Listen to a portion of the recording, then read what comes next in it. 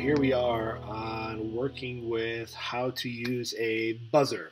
Now, if you're following along on the Raspberry Pi project website, you're going to see that they have a just a fresh, clean breadboard, and they are using the buzzer to be plugged in directly to a ground GPIO pin and GPIO pin 17.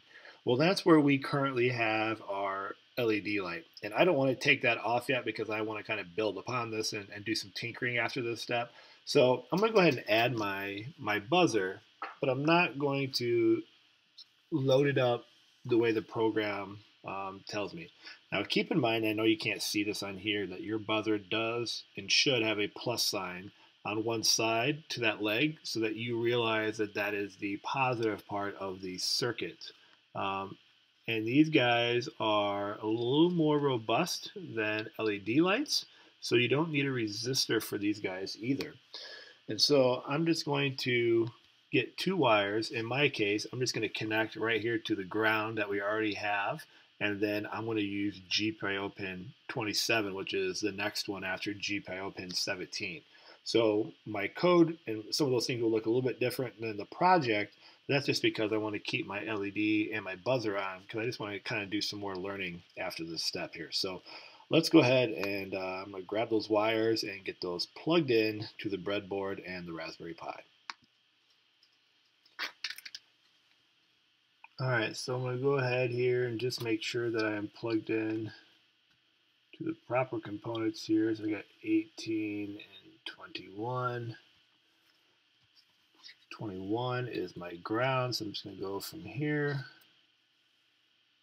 to the ground panel that's already connected. And then plug in my positive wire. And I'm going to go again right below GPIO pin 17 to GPIO pin 27. Okay, now that we have that, um, we're going to go ahead and write some new code. So I'm going to start up a, a new line of code here so that you can see how this works. And so we're going to go right here from, from GP 900. This time we're going to import, I bet you can't guess, buzzer, right? So now that we have that, and we're going to add the time library, we're going to import sleep again. Okay, so now what we got to do is we have to identify our variable. So we're just going to make our variable buzzer. And we're going to make that equal to the GPIO pin that we're plugged into. On the example of the site, it's 17. On mine, it's going to be 27. Okay. And then now what we're going to be doing is adding some things here that will allow us to kind of think about how to use the buzzer. Just like in Scratch, even though we had very similar blocks, it kind of looked a little bit different output or the LED. A buzzer works just like an LED. So the Python code is very similar to what we've been doing. So what will happen here, we'll just write a loop here just so you can experience this while true. Okay, what we want to do is turn um, buzzer on, okay, just like so. And we've done this with the LED on and off, and we're going to sleep. Let's do one second, and then we'll do buzzer dot off, sleep one. And you can change around this a little bit if you want. And so now when we run this,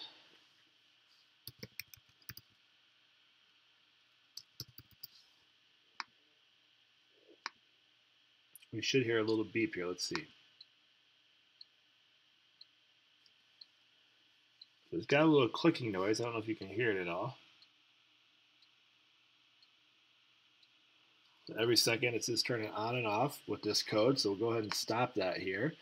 And we can continue on here and we can try some other things. And so if we wanted to, um, we could see if we get a beep out of this. So let's do, uh, let's wipe this out. Let's just call this beep, and we'll get rid of these. All right, so let's go ahead and run this.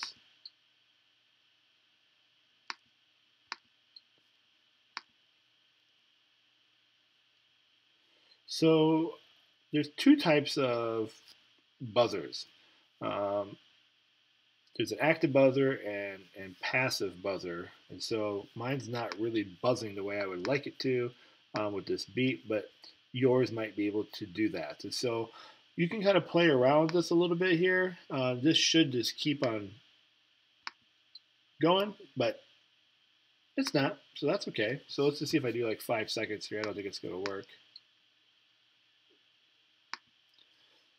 But at least with that, let me change my buzzer here and see if this will make a difference.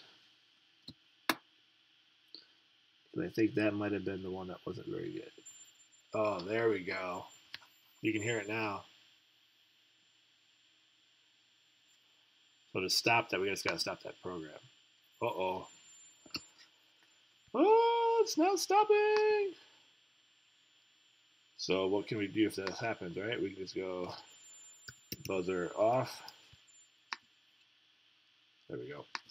And then boom. Okay, so I had a bad buzzer. I just need to throw that one away, actually, because it's just creating a headache.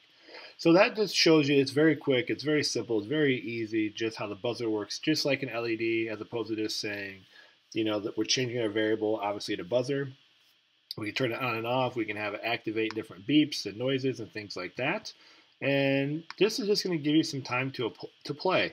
So you've got an LED, you have a button, you know, a buzzer, very similar to where we were in the Scratch um, days of, of week two.